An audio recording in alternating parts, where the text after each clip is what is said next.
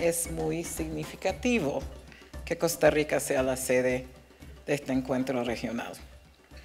Este poderoso y pujante país ha sido construido por gentes de diversas culturas que lo han enriquecido y han ido labrando la centenaria democracia que goza este país. Trabajar con los sectores más excluidos en este país y en todo el mundo es una apuesta de crecimiento económico, es una apuesta de bienestar, es una apuesta de felicidad para todas las personas. Cuando se lucha por lo correcto, nunca se es derrotado, sino que hay que seguir trabajando. Costa Rica en 15 días reclutó 96 votos para tratar de llegar al Consejo de los Derechos Humanos, como una señal de que deben prevalecer los derechos humanos de todas las personas.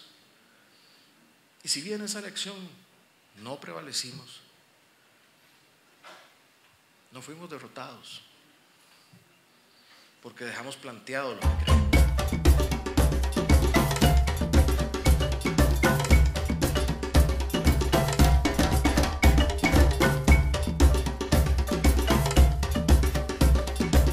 La reunión de hoy me pareció súper interesante, sobre todo porque nuestras voces, nuestros discursos, nuestras preocupaciones particulares como jóvenes afrodescendientes de Latinoamérica y el Caribe o el sur global están siendo escuchadas. El tener de cerca a Epsi Campbell como una de referente a nivel internacional, al menos en México, para mí ha sido un impulso para seguir en la lucha por el pueblo afrodescendiente y el pueblo, afromexicano el reconocimiento de nuestra cultura, que somos parte de también de una cultura pluricultural, ¿verdad? Un país con, muchas diversidades.